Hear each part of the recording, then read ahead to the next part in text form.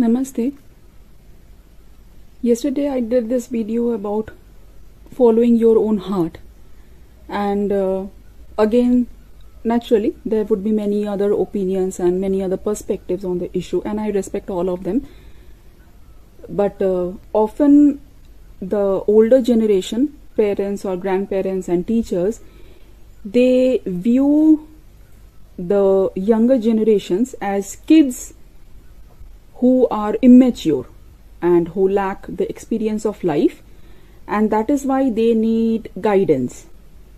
Now my point is that what you see is the physical body and what you don't see or don't understand is that you never know how old the soul is. I have met 20 years old 18 years old 15 years old kids who show tremendous maturity and understanding of life than people who might be 70 years old or 80 years old. You never know how old the soul is because a soul's journey is from life to life to life. It's lifetimes and lifetimes and lifetimes.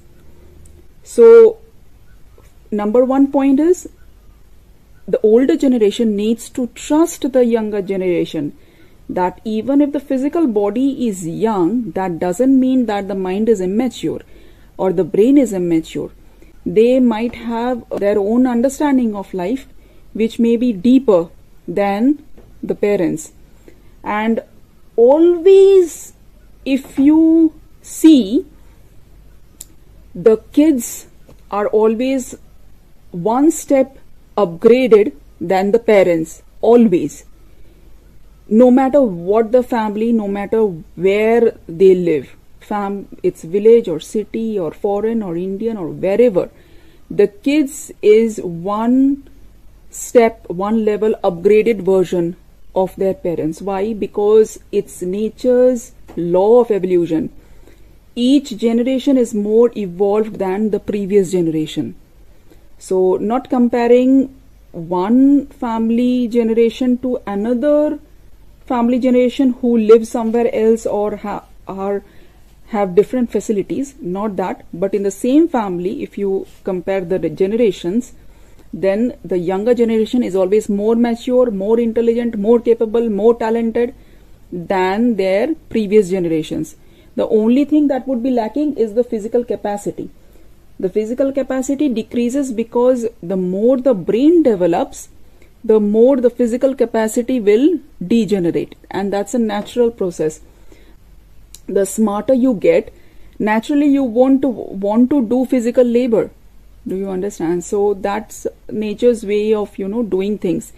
Physically they will become more softer more supple.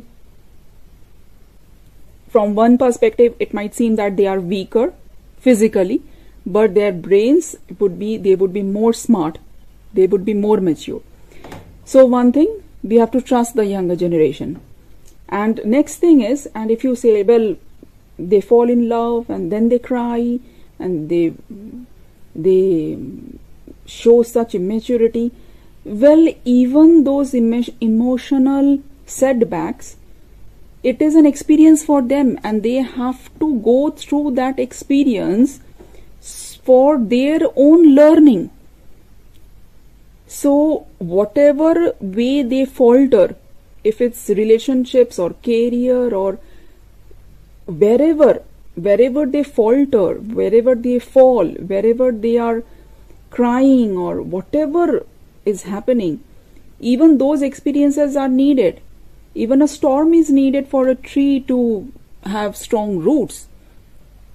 So let them falter but they will falter because of their own choices which is needed for their own maturity.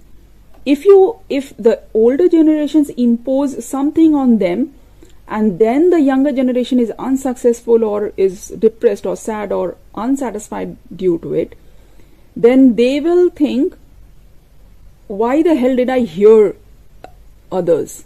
Why didn't i do what i wanted to do why did I hear what the elders wanted me to do? So don't impose in any way. Don't think they need your guidance. They are already guided. Every human being has its own guidance system guiding them from inside. And even if they are not listening to it or listening to it, whether they are intuitive enough or not intuitive enough, whatever it be, even if they have to falter a hundred times, let them falter a hundred times. How many times did these, you know, great scientists uh, this Edison we have already read, always read that uh, he failed uh, uh what a hundred times or something before he made the bulb, and uh, this uh, so many writers, great writers, their writings were denied to be published by publishers so many times. Even after having failed so many times, they still kept trying and ultimately they succeeded. So even the failures are needed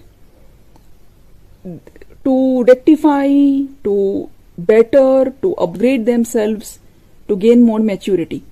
But imposing somebody else's view somebody else's guidance on them that is not the natural process that is not the right process and uh, if uh, some says that well they are not intuitive enough. Well even if they are not intuitive they will gain gain the intuition by faltering a hundred times. Let them falter. But let them falter by their own decisions by their own choices. That is god's plan. You see we think failure as failure. We think a setback as a setback. But every experience is a learning experience Failure is a greater teacher than success. Setbacks and struggles are a greater teacher than to be able to proceed smoothly. So it's all needed, it's all part of life. If you are going to learn cycling, you will fall a hundred times. That's okay. Ultimately, you will learn how to cycle. So, follow your own heart is the ultimate mantra. Even the rishis said the same thing, even the modern saints say the same thing, everybody said the same thing, and there is no second opinion to that. Each individual person has to follow their own inner voice. That is ultimate. There's no doubt about it, no second thoughts about it. If you are not doing it, if you don't have the courage to do it, well, keep on repenting for the rest of the life. What can I say? Because you will keep repenting for the rest of your life. If you are not hearing your inner voice. And the life purpose the your coming taking birth having this physical experience on this dimension the whole opportunity is wasted if you didn't hear your inner voice. So and that is the also the best way to evolve further if you aren't hearing your inner voice that means also that your evolution is also hampered. So well that's that. Namaste. Jai ma jai ma